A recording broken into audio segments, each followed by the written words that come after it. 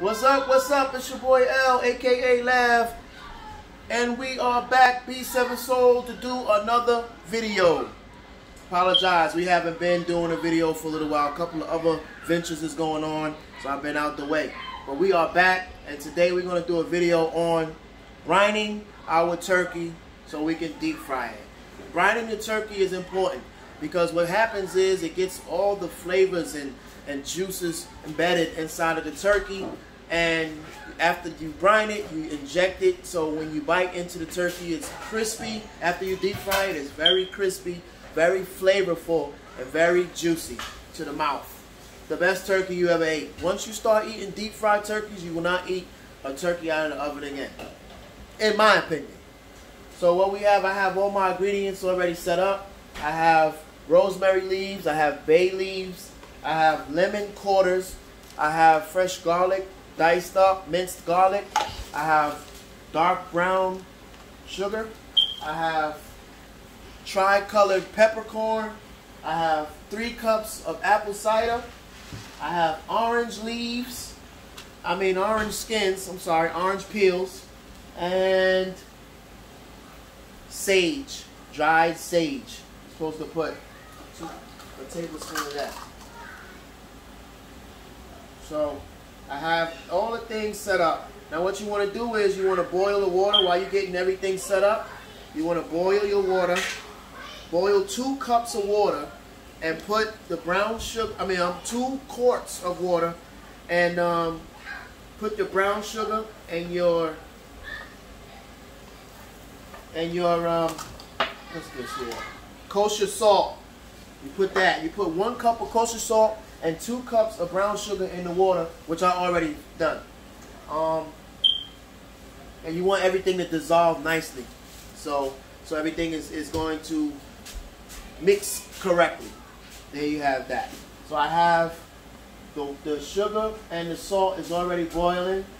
You're going to take that off the fire once that starts to dissolve and start to cool it. You can put it in the freezer or the refrigerator if you want.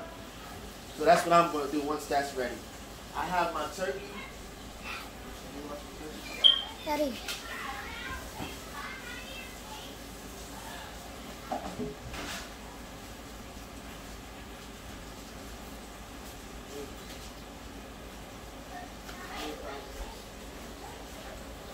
Dad.